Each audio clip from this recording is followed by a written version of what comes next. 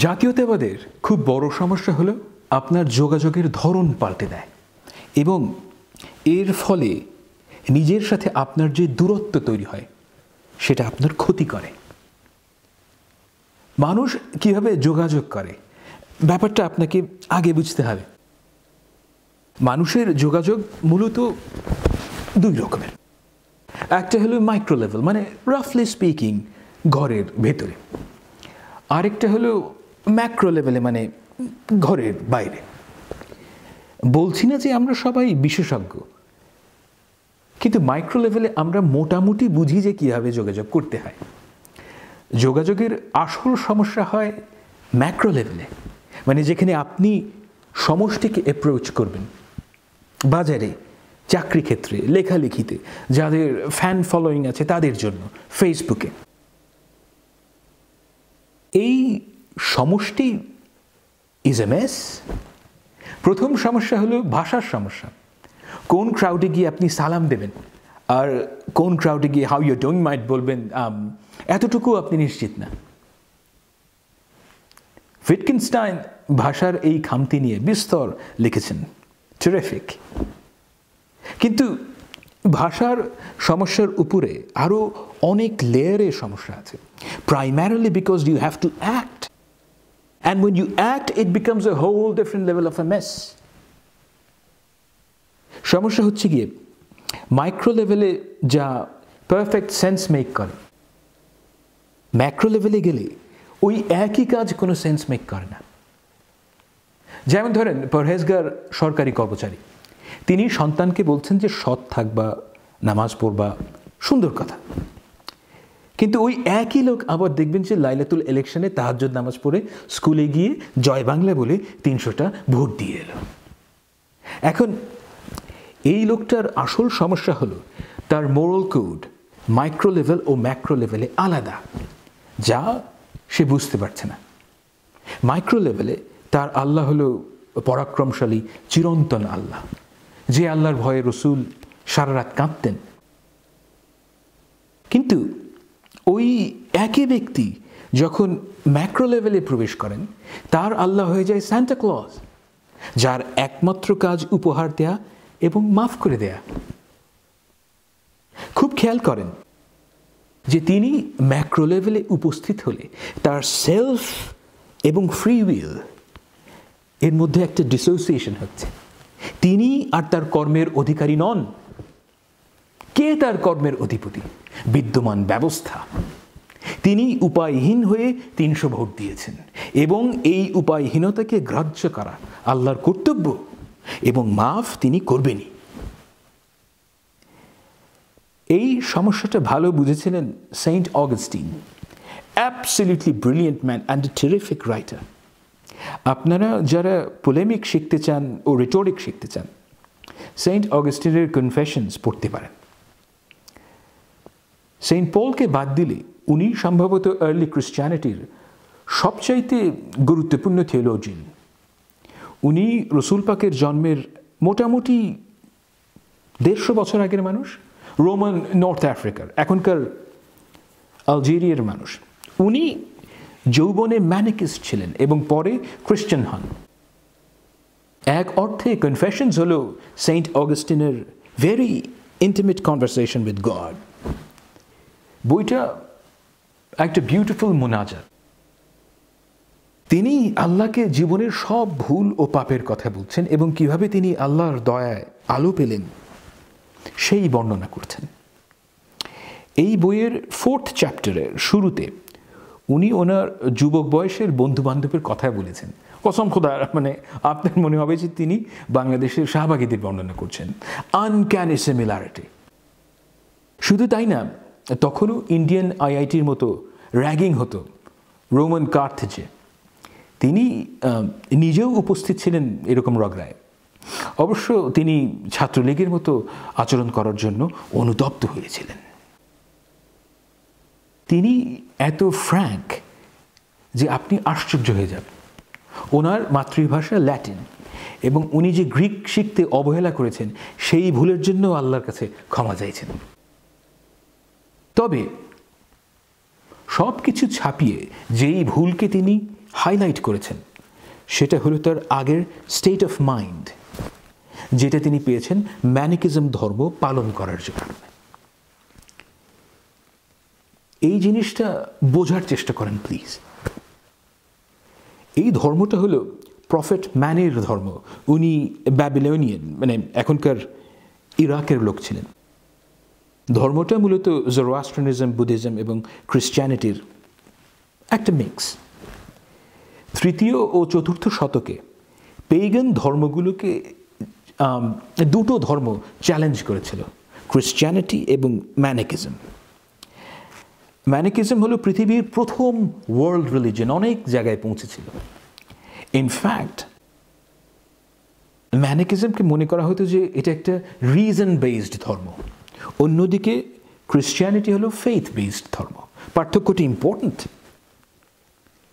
সেই সময় ম্যানিকিজম ছিল এডুকেটেড এবং কুল পিপলের ধর্ম আর ক্রিশ্চিয়ানিটি হলো মফিসদের ধর্ম তো এই ধর্মের ওয়ার্ল্ড ভিউ কি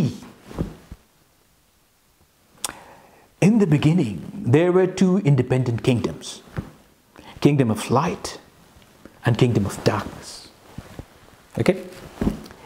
এই দুই কিংডম একে অন্যের উপস্থিতির কথা জানত না। দুষ্টুদের রাজা কিং অফ ডার্কনেস জানতো না যে কিংডম অফ লাইট এক্সিস্ট করে। ঠিক আছে? এরপর কি হলো? কিং অফ ডার্কনেস জানতে পারলেন আলোর রাজ্যের কথা। অন্ধকারের রাজার ছিল পাঁচ সন্তান, হে পিতার মতো। তারা কিংডম অফ লাইটকে আক্রমণ করল এবং সব দখল করে ফেলল। এই অবস্থা থেকে বাঁচার জন্য কিং অফ লাইট মানে গড মাদার অফ লাইফকে সৃষ্টি করলেন, যিনি জন্ম দিলেন আদি মানুষের। এরপর শুরু হলো স্টার ওয়ার্স ভালো ও খারাপের মধ্যে।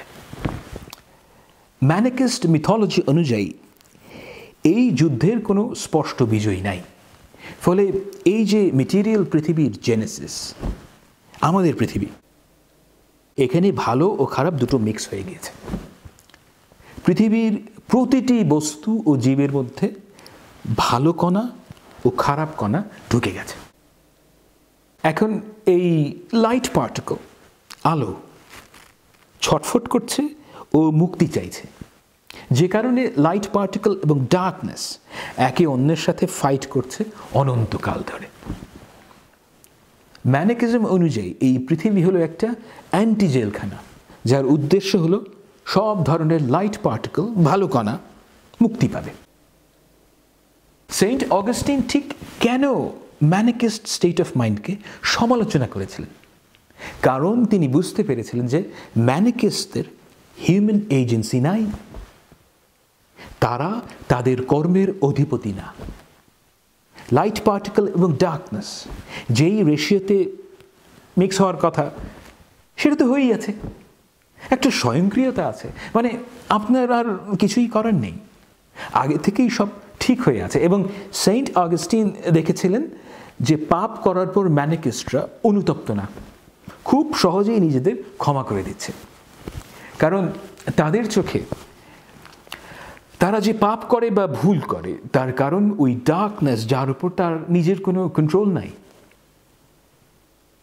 এখানে এই ব্রাহ্মিক রিলিজনের বিশেষত্বটা বুঝেন। This is very important there is a path of light a path of righteousness and a path of darkness কোন রাস্তায় আপনি উঠবেন, সেটা আপনার উপর। আপনি সভরেন আপনার হিউম্যান এজেন্সি আছে। এবং একজন বিচারক আছেন যিনি ন্যায়নিষ্ঠ এবং করুণাময়, যিনি আপনার প্রতিটি কাজ দেখছেন। আপনার কর্মের অধিপতি আপনি। ভালো করলে তার পুরস্কার আপনার, আবার খারাপ করলে তার শাস্তিও আপনার। You are the master of your own ship saint Augustine বুঝেছিলেন যে ম্যানিকিসদের মাথায় সেই হিউম্যান এজেন্সি নাই। তারা এক এক সময় সুবিধা মতো এক এক যুক্তি দিয়ে নিজেদের কাজকে জাস্টিফাই করে। তিনি বলছেন যে ম্যানিকিস্টরা কোনো মাংস খেত না, কারণ মাংসের মধ্যে লাইট পার্টিকেল নাই। ওকে তো লাইট পার্টিকেল কোথায় বেশি আছে? ফলের মধ্যে, যেমন ফেগ আর সুরা তিনের তিন। আঞ্জির হলো হেলেনিক ওয়ার্ল্ডের সবচাইতে আরাধ্য একটা ফল। এখনও আঞ্জির খুবই দামি ফল। তো লাইট পার্টিকেল এই আঞ্জির থেকে কীভাবে মুক্তি পাবে? ম্যানিকিস্ট প্রিস্ট মানে পুরোহিতের পেটে গেলে এই লাইট পার্টিকেল মুক্তি পাবে। কিন্তু যে আম ম্যানিকিস্ট তার জন্য গাছ থেকে আঞ্জির পেরে আনাটাও নিষিদ্ধ। বুঝেন কিন্তু, যেই আঞ্জিরের কাছে যাওয়াটাও ম্যাঙ্গো পিপলের জন্য হারাম। সেই একই আঞ্জির পুরোহিতের পেটে গেলে মুক্তি পাবে এবং বেহেস্তে চলে যাবে। এই জিনিসটা আজকেও রেলেভেন্ট আমি কোনো স্পেসিফিক ধর্মের ক্রিটিক করতে বসি নাই। আমি বলছি, ওই স্টেট অফ মাইন্ডের কথা যেখানে ইউ আর নট দি একটা জাতীয়তাবাদীদের পৃথিবীতে দেখবেন অন্য কেউ আপনার ভাগ্য নিয়ন্ত্রণ করছে। ফলে আপনার সব সময় শত্রুর প্রয়োজন হবে। পাকিস্তানের একটা চাওয়ালাকেও আপনার পোটেনশিয়াল শত্রু মনে হবে। এবং আপনি ঘৃণা করতে শিখবেন।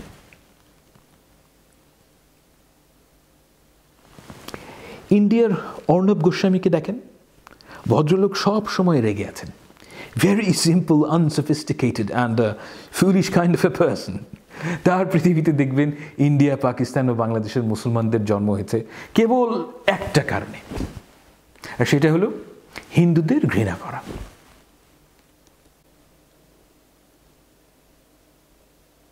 এই যে dissociation of self and free will এটা একটা ভয়ঙ্কর অবস্থা। আপনি আপনার মালিক না, অন্য কেউ।